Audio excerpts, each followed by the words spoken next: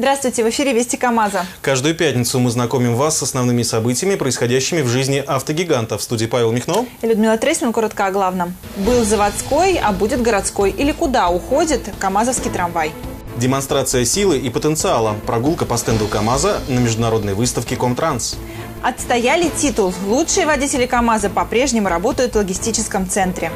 Клятва футбольной верности. На стадионе КамАЗа прошла церемония посвящения юных футболистов. Как у девушек глаза горят в магазинах стильной одежды или обуви, так автолюбителям было от чего набраться вдохновения на выставке «Комтранс-2013». На ней были представлены все последние новинки в сфере коммерческого автотранспорта. И любоваться этим многообразием посетители могли в течение четырех дней. Рай для дальнобойщиков. Так окрестили журналисты этот крупнейший в году автосалон.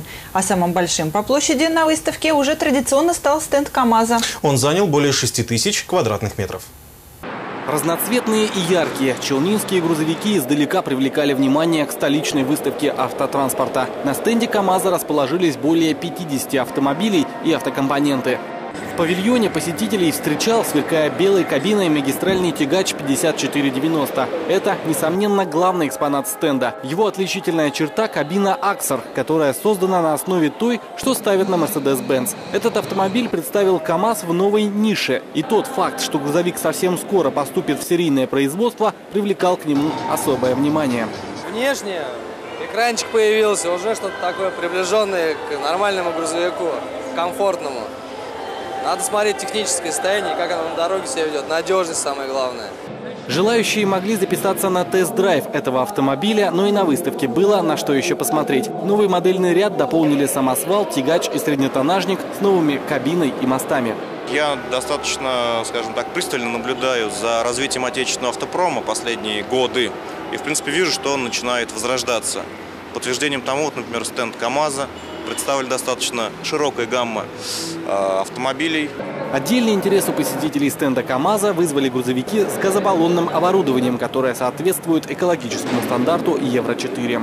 Кроме этого мы имеем и инновационный продукт. Вот за мной стоит это электромобиль. Мы предлагаем нашим потребителям новый класс автомобилей. Это пониженный шум, это ноль выхлопов. И мы считаем, такой автомобиль может быть интересен для мегаполиса. Широко была представлена на выставке спецтехника КАМАЗа. Автокраны, автобетоносмесители, вахтовые автобусы, бункеровозы, автомобили, оснащенные промтоварными фургонами, с кран-манипуляторными установками и дорожные комбинированные машины. У нас появился алюминиевый, алюминиевые цистерны, ряд алюминиевых цистерн. Во-вторых, мы расширили ряд своей э, техники самосвальной. Появились э, очень интересные образцы самосвальных полуприцепов. Мы выставили э, несколько новых автобусов. Это и большие автобусы «Нефас», которые вышли в своем обновленном виде и в интерьере, и в экстерьере в обновленном и э, автобусы, которые производятся совместно с компанией «Марко Поло». Большинство из представленных моделей уже серийные. Некоторые появятся в серии в ближайшее время. А потому на стенде КАМАЗа было немало потенциальных покупателей и тех, кто изучает ассортимент на будущее. Ну, мы с сыном пришли на выставку посмотреть на, на новые достижения, которые появились. Нам очень понравилась э, система э, VDF пневматик, которая стоит вот, э, в соседнем, в соседнем этом самом стенде. Вот, мы немного знакомы с этой системой. Она, э, вижу, очень востребована будет, потому что позволяет э, э, иметь несколько выгод. Э, выгода в том, что это будет одна машина, вот, один водитель, э, а несколько может быть перевозить несколько настроек. И ребенок нашел на челнинском стенде интересный для себя экспонат. Вдоль и поперек, облазив ярко-красную пожарную машину на базе КАМАЗа, он заключил «Хочу стать спасателем». Мне нравится, потому что рукав есть, но она быстро едет, мигалки горят. Не меньшую заинтересованность новыми моделями проявляли и поставщики компонентов. Чтобы приспосабливаться, приспосабливаться к клиенту, надо понимать, что клиент хочет, его желание, куда развивается техника у него, и постараемся, постараемся поддерживать его развитие. Для КАМАЗа, как и для многих других автопроизводителей, подобные выставки – это возможность показать себя, продемонстрировать клиентам и общественности новинки производства и оценить их реакцию, изучить спрос на свои предложения. Егор Орлов, Михаил Матвеев, Вести КАМАЗа. Комтранс – это не просто выставка, это еще и демонстрация силы и привлекательности бренда. Поэтому каждый стенд старался привлечь как можно больше посетителей. Были танцы, песни, викторины и аттракционы. Конечно, в основном на автомобильную тематику. На стенде Мерседеса, например, мерили силой русские богатыри. Что предложил КАМАЗ своим посетителям, расскажет Анна Кондратова.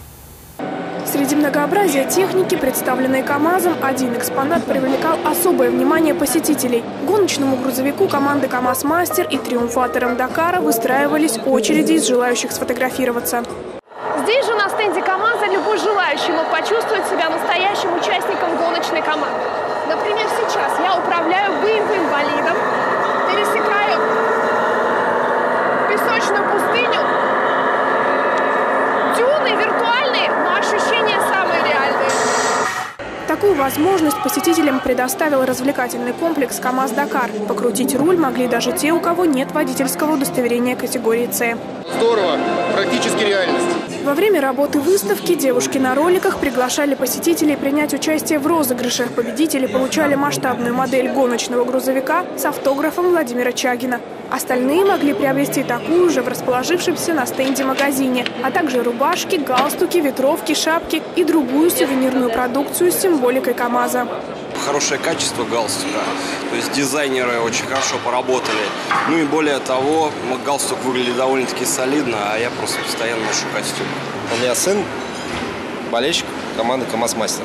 Вот, я ему в подарок купил вот эту модель. Он будет доволен.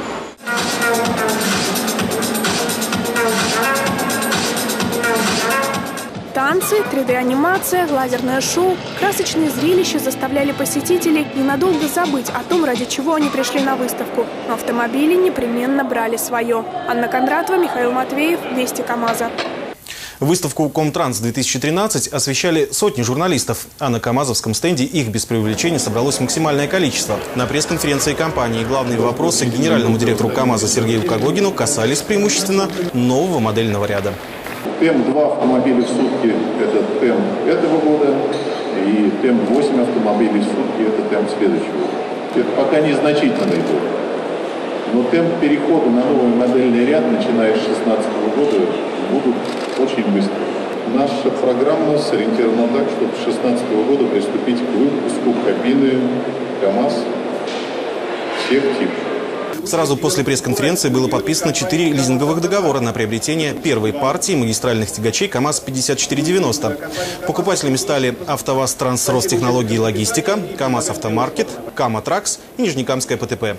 Также на стенде меморандум о сотрудничестве подписали главы компаний КАМАЗ и Ростехнологии Инвест.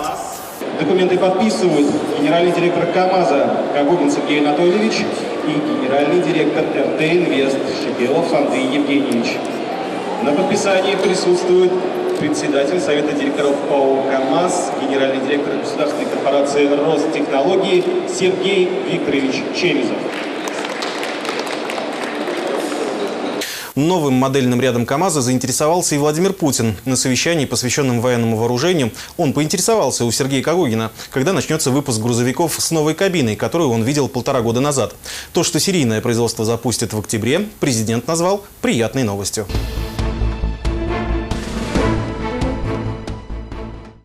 От Владивостока до Калининграда и дальше в страны ближнего и дальнего зарубежья. Водители предприятия «Интертранс КамАЗ» ежедневно покоряют просторы российских дорог, доставляя дилерам КамАЗа грузы и новенькие автомобили. Сегодня первый серьезный юбилей предприятия. 10 лет. На праздник приглашены почетные гости и сотрудники. Но опять же не все. Большая часть подвижного состава, как обычно, в пути. Это только кажется, принял груз, сел за руль в дорогу. На самом деле, при покупке дилерами КАМАЗа автомобилей или запасных частей выстраивается большая логистическая цепочка. Заказ на доставку поступает в Интертранс КАМАЗ, далее страхование, получение транзитных номеров, поиск груза на обратный путь, подготовка машины к рейсу и уж потом в путь. Есть такая система централизованной доставки для того, чтобы в любой точке страны запчасти стоили одинаково. То есть за запасные части, за доставку именно, дилер не платит. За это платит КАМАЗ.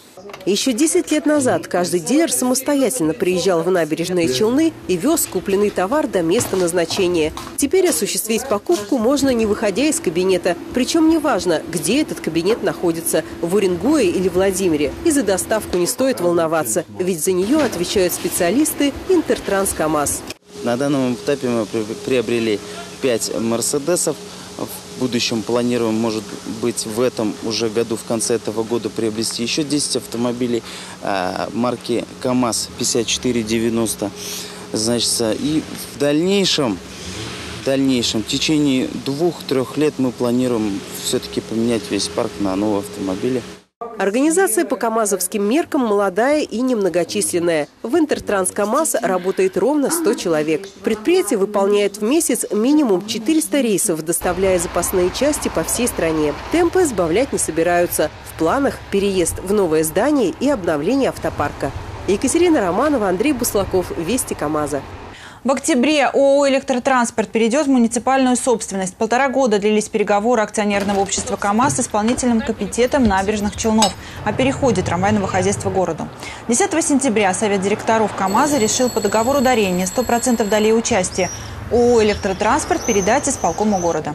Все участники сделки видят в ней только плюсы. Трамвайщики смогут участвовать в федеральных инфраструктурных проектах, а город получит возможность развития транспортных услуг. КАМАЗовцы, добирающиеся на заводы трамвайными маршрутами, тоже не должны беспокоиться. Заводские маршруты будут поддерживаться и далее. У нас э, заключены действуют договора о перевозке работников, э, заключены договора эти с э, обществом, ничего не меняется, договора продолжают действовать, и есть договоренности с исполнительным комитетом, что эти договора будут, безусловно, пролонгированы и дальше. 20 водителей, 30 колес. Огромные грузовики смиренно подчиняются воле этих людей, да так, что на приличной скорости петляют между столбиков как задним, так и передним ходом. КАМАЗ вновь определил лучших из лучших. И кубок этого года по-прежнему остался у водителей логистического центра КАМАЗ. До торжественного награждения несколько часов. Участники сосредоточенно выполняют задания на вертолетной площадке КАМАЗа. Скоростное маневрирование – второй этап конкурса профмастерства. В общий зачет идет сумма затраченного времени на прохождение трассы и сдачу экзамена по правилам дорожного движения. За ошибки, избитые столбики – штрафные секунды. На площадке у нас э, выставлены этапы. На каждом этапе выставлены судьи, которые фиксируют нарушения. Побежденных здесь не будет. Будут победители, э, те, которые достойно представляют свою профессию водителя. Водителям на этапах предстояло пройти разные испытания. Некоторые частенько встречаются во время повседневной работы, но есть и такие, с которыми даже опытные дальнобойщики сталкиваются только на соревнованиях. Параллельная парковка постоянно, это и на КАМАЗе постоянно, если паркуешься, грузит, это самое нужное. Заезд бокса задом и проезд это, и вот параллельная парковка вот это. И, и, ну и все остальное очень редко встречается. Ну и туннель. После того, как трассу прошли все 20 участников, перешли к награждению. На подиуме в основном молодые водители, что особенно порадовало организаторов. И в личном зачете, и в командном первый логистический центр КАМАЗа. Водители этого предприятия вновь показали отличный результат, завоевав престижную награду – Кубок КАМАЗа. Егор Орлов, Андрей Буслаков, Вести КАМАЗа. 30 футболистов пополнили ряды клуба «КамАЗ». Два года регулярных занятий с тренером позади. Теперь ребята точно знают, футбол не просто забава. Это и изнурительные тренировки, и травмы. И все же они готовы связать с этим видом спорта свою дальнейшую судьбу. А потому в минувшие выходные прошли через официальную церемонию посвящения футболиста. С произнесением торжественных речей и клятвой верности футболу.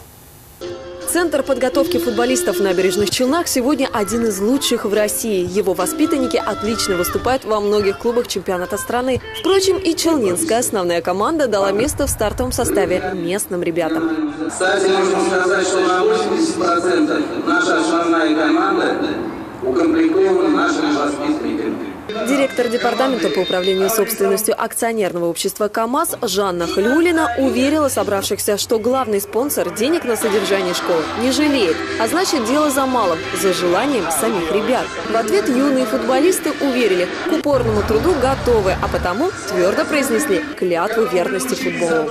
Мне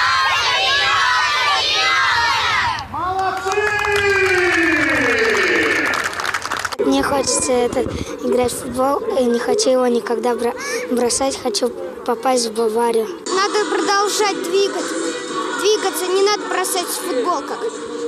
У тебя есть мечта? Да. Скажи, пожалуйста, чего бы ты хотел добиться в футболе? Похоже быть, как Лионель Месси. Тренером этой команды стал Наиль Спартакович Ягудин. Ему уже удалось вырастить немало прославленных мастеров, один из которых – Рустем Калимулин. Кто знает, может и эти юные звездочки совсем скоро покорят футбольные Олимпы. Катерина Карцева, Ильнар Мустафин. Вести КамАЗа. Следующая неделя наверняка окажется не менее насыщенной новостями. Не пропустите очередной выпуск в пятницу, 27 сентября в 19.15. О КамАЗе подробно и честно с вами были Павел Михно и Людмила Трейсман. Всего доброго и только хороших новостей. До свидания.